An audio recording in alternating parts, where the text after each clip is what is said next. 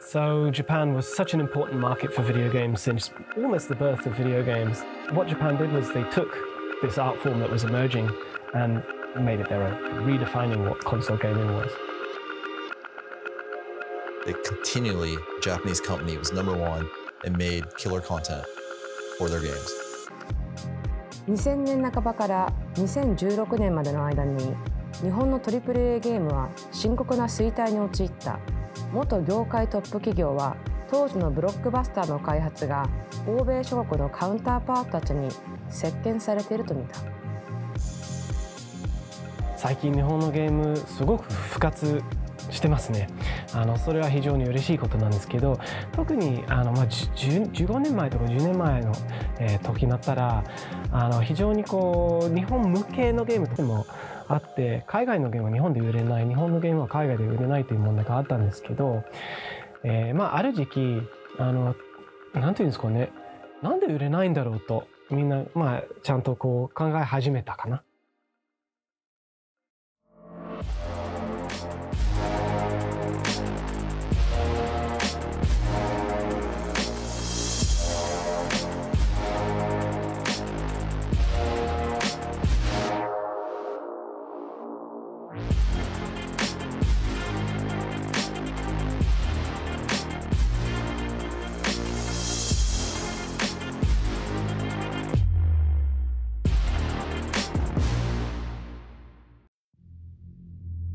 AAA とは大規模なスタジオが巨額の投資を用いて開発したゲームを意味する用語だ。これらのプロダクションに投入される投資額は最小でも数百万ドル。また投資は長期にわたることもあり巨額資金と資源の枯渇はゲーム開発へのハイリスクまたハイリターンを狙ったアプローチであるとも言えるだろう。これらのプロダクションの利益化のため大手企業は海外市場を標的市場として利益を上げるようになった。これらの圧力に精通している人といえば大ヒット作「ニーヤ・オートマタ」などのディレクターを務める横尾太郎。また革新的と評価されるシェンムーシリーズの鈴木優だ。ゲーム開発ってなんか最初にアイデアがあるというよりは、まあ、最初に集まったお金があってですね日本の基準がちょっとそのエコノミックな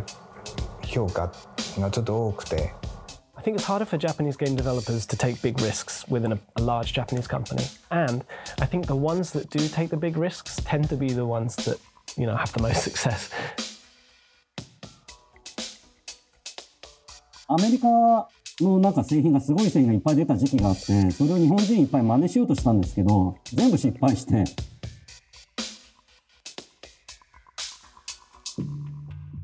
Western developers know how to sell things globally. Uh, the Western developers are selling at a bigger scale than the Japanese companies. Like, um, you know, Final Fantasy is one of the biggest Japanese IPs. If you look at the sales over the last 10 years,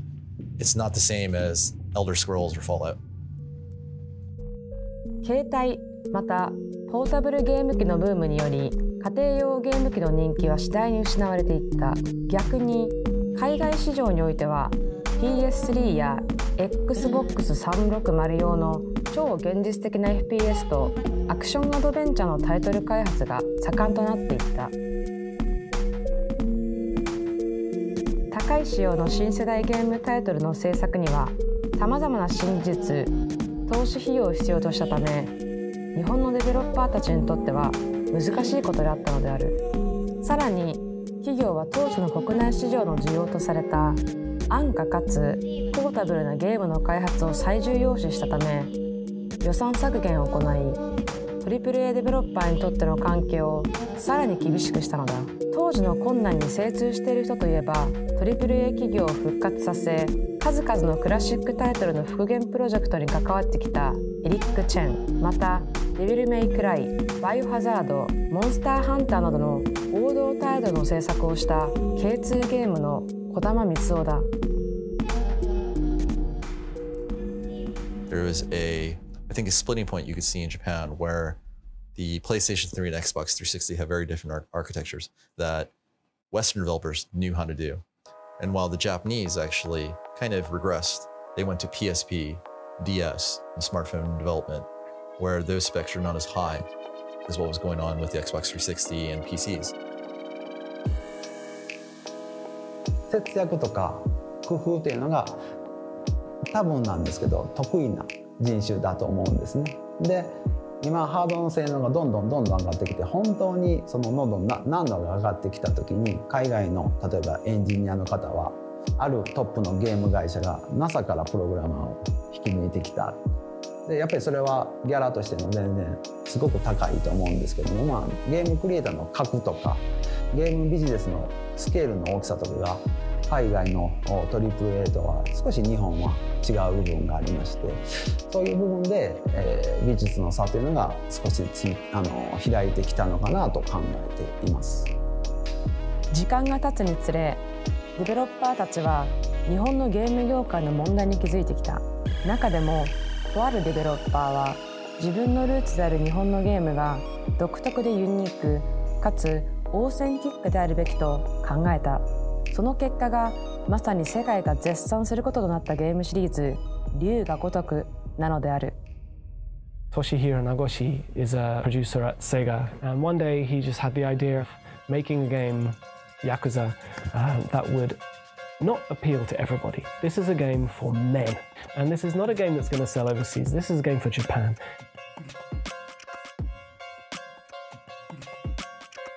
大前提だけどだ僕らも今僕が考えてるのはあの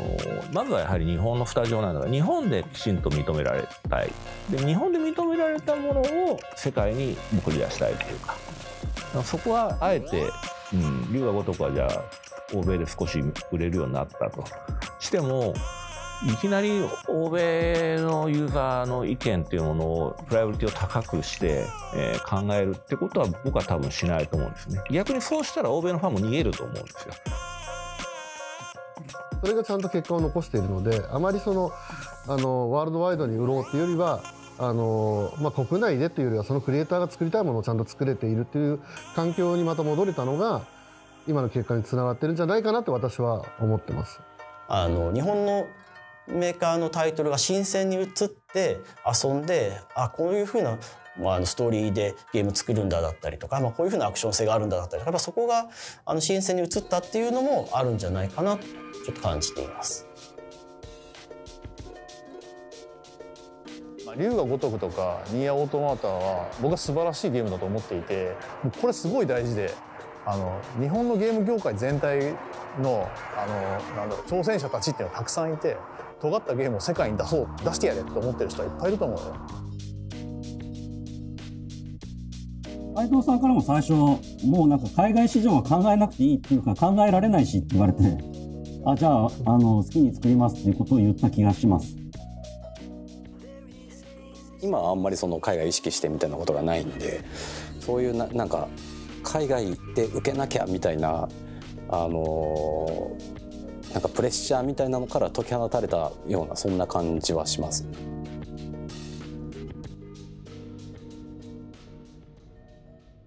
今では AAA ゲーマーたちを夢中にさせる多様なタイトルやストーリーが5万とある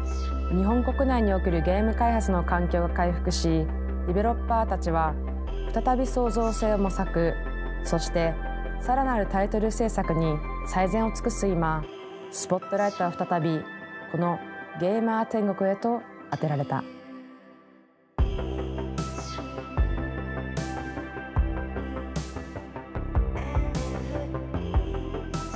最近また元気が出たねって言ってるタイトルを並べてみるとそのクリエイターの色がちゃんとしっかり出ているものがやっぱり増えていてもっと違う初めて見る景色っていうのをお客様に届けられるといいなというふうには思ってます。そういうふうになるように常に努力して考えてます。はい。